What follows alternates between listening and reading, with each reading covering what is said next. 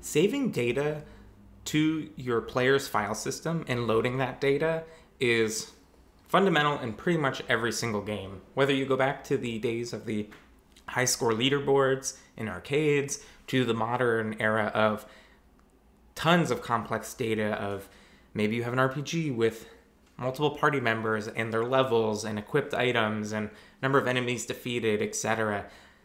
All of that data needs to be tracked somewhere.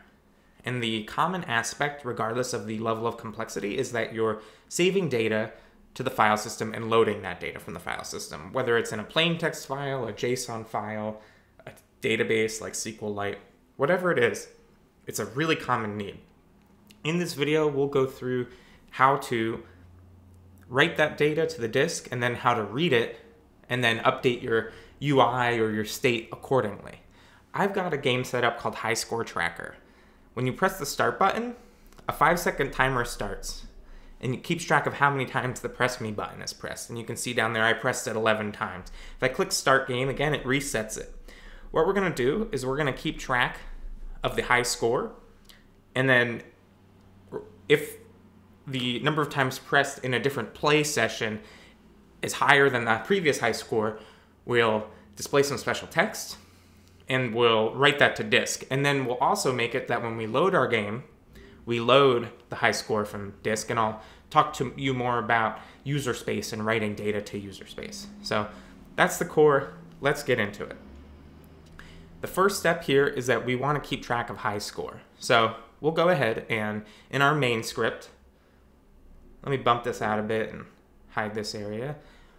I've already got variables set up. Times pressed is what's getting incremented every time the gameplay button's pressed.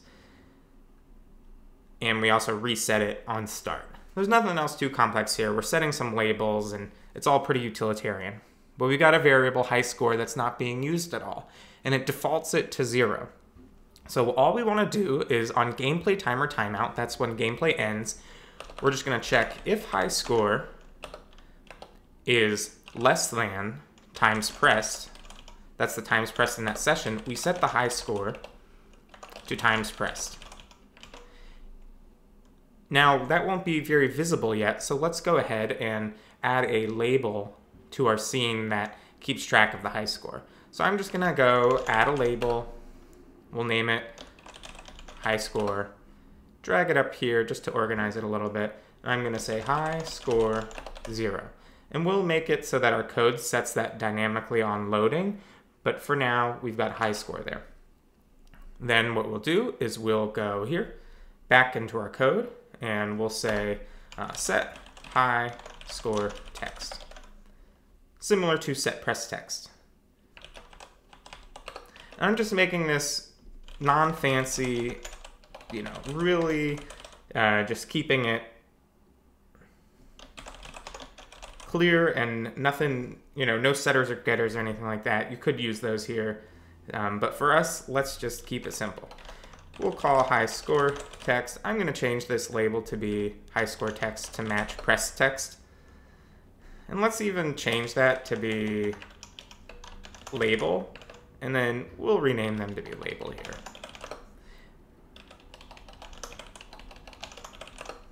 Okay, that's feeling better. We'll set it to be high score. Our value there. That's our variable high score. Run the game. It's set to zero because we don't have a high score. I'm going to press this two times and we'll let the timer run out. Great, high score was reached. Perfect. We'll press start game again. High score is still two. I'm going to press it five times. Okay, great. It changed the high score to five. We know that that's working. That's excellent. That is what we want. So now what we need to do is save that to the file system when that happens. But, well, actually first, let's just do one quick thing. We'll say func ready, and we'll just call our function that we just created, set high score text, and that will set it to be our custom value um, using our function, and it'll use the defaulted high score. And I think that's uh, just a good thing to do. Like, uh, really quick aside, I like using the 2D scene view with dragging nodes in and laying it out as a, I view it as a sort of mock-up. It's not what the player will see it's not necessarily populated with the data that might be loaded from somewhere else, but it lets me see, okay, here's what this would look like with this placeholder text. And then in the code, in the script, you know, we'll actually set it here. And um, th- that helps me kind of lay things out. And then I go and implement the dynamic functionality. But anyway, let's go ahead and implement our saving of the high score. And we'll just say if high score is, if the previous high score, that's what that represents there, is less than the times pressed, we set the new high score. So we'll go ahead and we'll say set new high score. We'll make a function that does what this used to do because this makes it a little more clear, right? This is going to get a little more complicated and we're going to want to have this down here so we can easily make use of it. Um, we've got a, warning down there. We'll ignore that. Um, so what we want to do is, in the previous screencast, I talked about how you read data from the operating system of the computer. Now we're going to talk about writing data to the operating system of the computer. It uses a very similar API called file access. So you can do file access, dot open, and you may have seen in other parts of Godot res colon slash slash. That's a resource from our game file. But this isn't a resource from our game file. This is a file that our user, aka our player, is updating and creating. And maybe there are different users on the computer, like operating system users. This would save it in a different spot for each of them. So they could have different high scores and still play the game. Also, this needs to be an assignment. Sorry about that. But so this saves it into user space, which is different than resource space in your game. And we're just going to call it highscore.txt. And we need to set the proper permissions, which is going to be file access.write. So now we have a file access saved in a variable called file. All we're going to do then is call file.storeString, and we're going to pass in high score and save that. We get an argument error. It says it should be string, but it is int. So is there some way we can change that? I know we could do our percent business where we convert it to a string. Let's see if that does what I think it does. Let's go ahead and test it. Thanks for bearing with me. You know, sometimes I don't know everything. no, many times I don't know anything. so, um, you know, we're learning, we're trying things together, and we're experimenting. So I pressed it. High score is set to 8. In theory, this should have written to highscore.txt. And you might be wondering, where is highscore.txt? Well, that varies dependent on your operating system. The Godot docs have a table that explains this. And on Windows, it's in this direction directory. In macOS, it's in this directory. On Linux, it's in .local share. I'm on macOS right now, and I've actually got this open already. So we can go in and we can see here are all of my different Godot games I've run. And it saves different data there. Here's High Score, the project I'm working with right now. And look at that, high score text. And it set it to eight. That's pretty cool. And we could even modify that and uh, change it ourselves. But uh, for now, we'll just keep it there and uh, um, let it be. So let's go ahead and play our game again and we'll press it more than eight times and set a new high score. Okay, the high score is 14. Let's go back to our finder. It's 14 now. So our high score tracking is working. We're taking data from our game, a variable, we're saving it to disk to then um, persist, and now we want to go and take it and load that into our high score. So instead of defaulting high score to zero, what we're going to do is we're going to say load high score text. We're going to just call load high score, and we'll make a function called func load high score. And we'll just have it return void and uh, not have it do anything special. That's optional, that type signature, but you know, as always, I keep the type signatures on because I like to uh, keep that there. And I'm gonna put it near Yes, set new high score, load high score. That's works for me. We're going to set the high score text because I think that something we still will want to do. And instead of writing the file, we're going to read the file. Much like we did in our other video about reading text from a text file, we're going to just go ahead and do a similar thing. We'll say var file is equal to that, and then we'll set our high score variable in our script to be file dot get as text and skip caret returns. I think we want that to be true. And we'll call to int on it. So that will take our text in our file.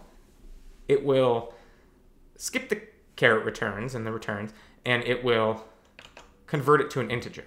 So now, if we go ahead and run our game, because we're calling, let me expand this. Sorry about that. Let me expand this, and we'll, uh, because we're calling load high score on ready when this scene runs. That goes ahead and calls our function, and we load, read it from the disk and load that file. Let's see what we get. High score set to 14. There we go. Now I'm going to open this in my text editor and we'll tamper with the save data and we'll make it some really high number. and now it's that really high number, right? So there's an issue, or is that a bug or a feature, right? Like maybe you want to make your game in such a way that people can easily edit the save data to um, change things, right? Because it's a game and it's for fun, and maybe having control over that helps them. Um, but for our case, uh, it's fine for this demo. But what you can do is you can encrypt the data if you want and have a secret key that is used to make it so that this data is obfuscated. But that's beyond the scope of this. Maybe that make for a good video in the future. But for now, we've got high score working. So if we start our game, we loaded high score 3 from disk. If I press it more than three times, we have a new high score of 13. And if I close this buffer over here, or this file, and then reopen it, preview it, now it's set to 13. It's a little small, sorry about that. But there we go, we've got high score tracking and loading working. And let's, at the end, let's just do something funny and say, um, I'm a string. What happens if we change this to a string and we try to convert it to an int? Let's just see what happens. Oh, Godot's smart, right? Godot knows to safely make that zero and um, fail there. So nice job, Godot. That's uh, in GD script. That's really fantastic. Um, let's just test it again, make sure it works. Okay, new high score of 20. View that from disk. It is set to 20, and uh, there we go you can take save data loading and changing and um, you know as far and complicated as you want it's the sky's the limit there. But the gist of it is is that when an action occurs maybe a save button is pressed maybe you have autosave. You'll go ahead and you'll open a file and you'll store some data in there. Maybe it's a json file maybe it's a text file right? Like i've said before. And then when a scene loads or your game loads or a player presses the load button, you'll go ahead and read that file, get the data in some format. Instead of get as text, you might be able to do um, JSON. There's a uh, there's a way to load JSON into a dictionary, which is uh, you know beyond the scope of this. Um, but there's there's ways to have your data in different formats. But uh, you'll take that data put it in a variable, and then you'll update your state and your UI accordingly. And that, you know, this is a very simple example, but you can see hopefully then how you could take this and just slot it in wherever you need it. And um, it's not not overly complicated. And uh, you got to be careful for cer- certain things, like if users can input data or data can get in a funny place in a funny way. Um, but generally, that is how you read and write data that your players entered. Don't forget about user space, different than res space, right? If we change this to res, let's just do it just to see what happens. Oh, interesting. Attempt to call get as text in base null instance on a null instance. Ooh, we found a bug actually in the code. Let's fix it. Um, I thought the video was over, but I'm back for an encore. So let's go ahead and actually fix this bug. And we'll say if file dot file exists. Oh, what do we want? That doesn't seem right. Let's see if, can we do file access dot file exists. Okay. So if the file exists, then we'll go ahead and set the high score from it. Otherwise, don't do anything. And we already default the value to zero, so it's safe to not have an else here. And we can go ahead and rerun our game. And now that works, so great we found a bug and uh, we fixed it. But now let's see what the difference is between user space and res space. And I also just realized something else I want to make better. So now you see in resource, highscore.txt has been set. And this is different than this high score. That's set to 20 and this one's set to 9. And this is in our project files. You don't you you don't want to save this in your project files because every time you distribute your game to players, this high score value would be set already. So as you're playing and testing, it's going to be set. And then that will get included with your builds and then sent out unless you explicitly ignored it, but it's it's not what you want, right? This is a different location on my computer than this one. You want to use user space for users' data, right? It's kind of implied in the name. So let's go ahead and change res back to user and save that. And I noticed another part of the code I want to make better, and that is this. We should use a constant. Constant's like a variable, but it doesn't change. And we're going to call this, and I put them in all caps so that we know it's a constant. It's often called screaming snake case, because Godot uses snake case here, where it's underscores and it looks like a snake but this is called Screaming Snake Case, and we're going to call this high score file. And we're going to set this to here. And the reason why you want to use a constant, and then you can copy that, paste it here. You can also type it out, and we'll get the autocomplete. The reason why you want to use a constant here is, let me undo this for a sec, right? You, you know, strings are so brittle right? Especially if it's an important one you're referencing over and over again. What if I did that, right? That is never going to return true because we're never writing to that file. Therefore, this code would never get run. And this is, you don't want to repeat strings, especially critical strings like this. You want to put them in a variable or a constant. Ideally, a constant because this isn't changing. Now, if it was something that might change, like maybe a user could set where their save files are located, maybe then it would be a variable. But for our case, we want to go ahead and make it a constant. Now let's run our game, make sure it still works, and we'll make sure it's working in user space. Great, it loaded 20. Let's press it a bunch and we'll break the high score barrier and go past 20, 25. Okay, now we're here. That didn't get set. Great, we'll delete that. Now this high score is set to 25. So, whoo, that was a whirlwind. I feel uh, I'm glad we found the bug. I'm glad that we uh, moved our code into a constant and made it better. And uh, appreciate you learning alongside with me. You know, I uh, I'm just doing these off the cuff, so I sometimes forget stuff or whatever. And uh, yeah, that was a good good thing to learn and see. All right, appreciate you watching. Hope this helped. I really enjoyed making this video. Take care. Till next time.